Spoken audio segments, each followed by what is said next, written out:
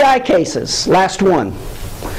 240 new patients, right? We said if you're averaging 20 new patients a month, 20 times 12, 240, times 7 circle of influence, times 2%. 2% of your patients are in automobile accident, have automobile accidents every year.